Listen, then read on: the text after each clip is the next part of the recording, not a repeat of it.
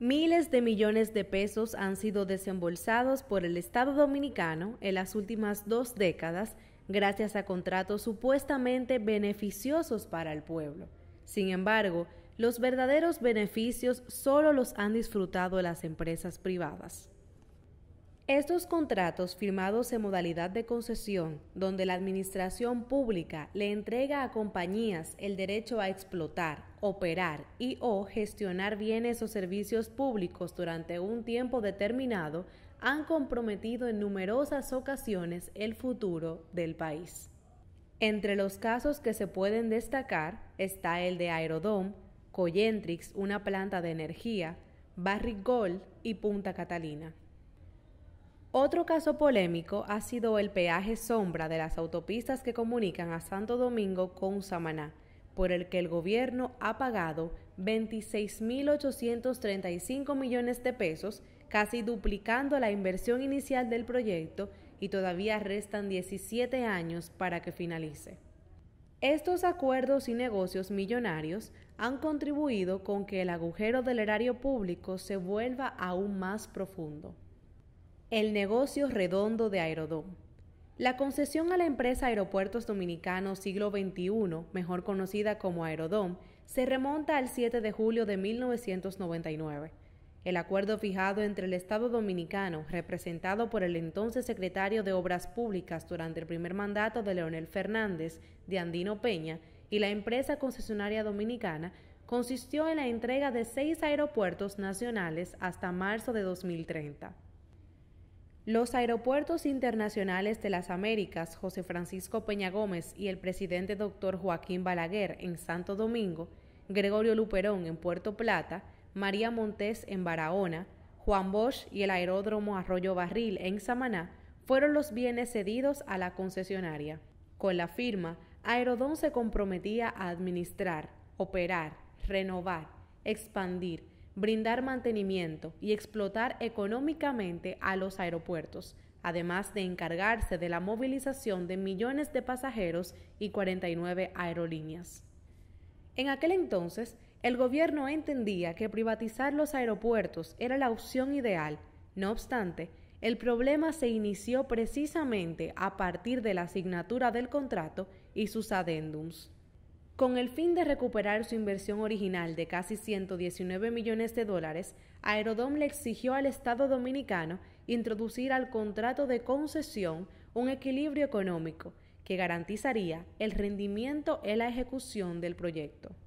Según el artículo 11.1 del contrato, el gobierno dominicano y la Comisión Aeroportuaria han tenido que incurrir en medidas compensatorias para asegurar el equilibrio de la concesión cuyas consecuencias no han dejado de manifestarse en el fisco.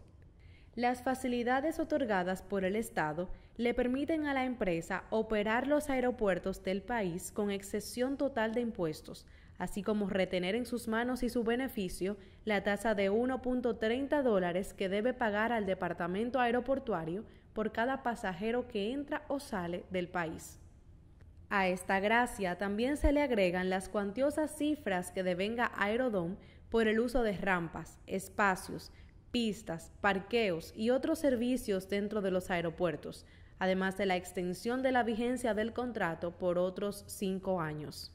Los beneficios antes mencionados son citados en la resolución firmada el 8 de marzo de 2004 entre el secretario de Obras Públicas Miguel Vargas Maldonado y el ingeniero Abraham Hasuri, representante de la concesionaria. El acuerdo millonario de Coyentrix. Con el propósito de solucionar el déficit energético que impera en el país, el gobierno dominicano firmó en agosto de 1998 durante la primera gestión de Leonel Fernández, el contrato para instalar la planta energética Coyentrix en San Pedro de Macorís. La estación generadora manejada por la Compañía Eléctrica de San Pedro de Macorís prometió suplir al territorio nacional de manera ininterrumpida con su aporte de 300 megavatios distribuidos en tres unidades. El entonces vicepresidente ejecutivo de la Corporación Dominicana de Empresas Eléctricas Estatales, Radamés Segura, signó en nombre del país un contrato pago fijo por capacidad por 20 años, donde el Estado se comprometía a pagar millones de pesos mensualmente a la compañía, incluso si la planta mantenía sus unidades apagadas o fuera de operación. Desde su instalación hasta 2014, Coyentrix le costó al país aproximadamente 806.4 millones de dólares, sin siquiera estar operando, lo que triplicó su inversión inicial de 263.1 millones de dólares. De acuerdo con lo establecido en el contrato, estas grandes sumas eran pagadas por conceptos de capacidad, compensación de combustible, operación, mantenimiento y arranque en frío. En otras palabras, el inversionista estaba asegurando el retorno de su inversión y la rentabilidad esperada, mientras el Estado asumía los riesgos y pérdidas del contrato. A la firma del contrato, el precio de barril del petróleo era de 28 dólares. Sin embargo, con el paso del tiempo y la llegada de múltiples crisis económicas, el costo alcanzó los 120 dólares, por lo que producir energía con Coyentrix era demasiado costoso. Operar Coyentrix con los altos precios del petróleo le salía más caro al Estado que cubrir el déficit que generaba mensualmente el contrato, por lo que la CDE planteó convertir la planta a gas natural con el fin de abaratar los costos energéticos. Y aquí iniciaron años de tira y jala entre la empresa y el gobierno, en los que se trataba de renegociar un nuevo contrato que no fuera tan lesivo para el erario público. A partir de agosto de 2014, la planta empezó a operar gracias a la depreciación del precio del petróleo. Sin embargo, las negociaciones para convertirla a gas natural conducían aparentemente a un laberinto sin salida. Mediante un poder otorgado al titular de la CDE por el expresidente de la República, Danilo Medina, se logró finalmente el acuerdo con Coyentrix, en el que se pactó la conversión de la planta a gas natural a cambio de que la empresa pudiera recuperar su inversión a través de un contrato de compra-venta de energía de 10 años. Este hallazgo fue posible gracias a la construcción del gasoducto del Este por parte de Enadom, sociedad comercial formada por Energas y AES Dominicana. Pasados 14 años de todo un enredo eléctrico, el mandatario Luis Abinader dejó encendidas el pasado 29 de octubre las tres unidades convertidas a gas natural de la planta, las cuales serían gestionadas comercialmente por Energas. De acuerdo con Abinader, esta conversión representaría un ahorro de mil millones de dólares en los próximos 10 años para el país. Las migajas de la Barrick Gold. El 25 de marzo de 2002 se suscribió un contrato que comprometió los recursos naturales del Estado a cambio de que el país recibiera solo el 3% de todas las ganancias, el contrato especial de arrendamiento minero con la Barrick Gold Corporation. Durante la gestión del expresidente Hipólito Mejía, el gobierno junto al Banco Central de la República pactaron con la empresa Placerdome Dominicana Corporation la suscripción de un contrato minero para la explotación de 25 millones de onzas de oro en Pueblo Viejo, Cotuí.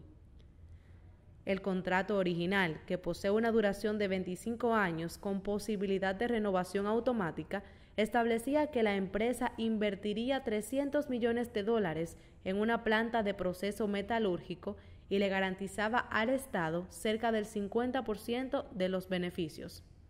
Cuatro años después, en 2006, la Barry Gold Corporation compró todos los activos de Placer Dome y con ellos el derecho a explotar suelo dominicano dando continuidad al contrato.